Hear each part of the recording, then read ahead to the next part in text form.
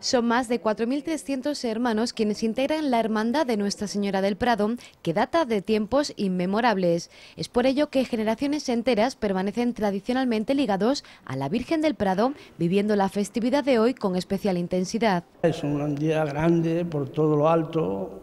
La Virgen en Talavera sabemos todos que es nuestra madre, que la queremos todos, que de hecho los talaveranos se desviven por su Virgen del Prado. Con la hermandad hemos accedido al camarín de la Virgen del Prado, un lugar privado que solo es abierto a los fieles en especiales ocasiones para que puedan besar el manto de su patrona. Esto es muy privado.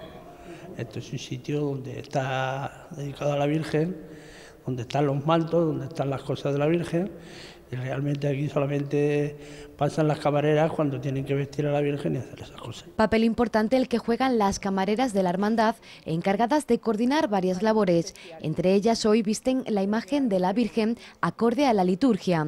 En total hay 74 mantos catalogados de diferentes texturas y materiales. Seda natural, terciopelo, eh, hay mucha, mucha diversidad de, de, ropa que se puede ver y, de, pasa lo mismo con las tocas, que hay muchas que son de chantilly, otras que son eh, bordadas, otras que son de tul. En su mayoría son regalos de los fieles que a menudo quieren honrar a su patrona. Muchos de los ropajes con los que cuenta la Virgen del Prado son antiquísimos. Algunos muy antiguos son de seda natural de las moreras de Talavera, de, la, de la Fábrica de, Sedas de Talavera.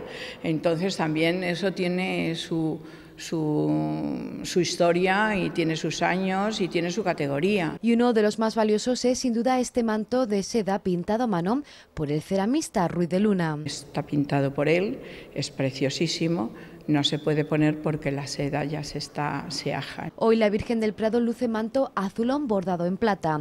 A sus pies este otro manto realizado con miles de claveles blancos, ofrenda de sus fieles.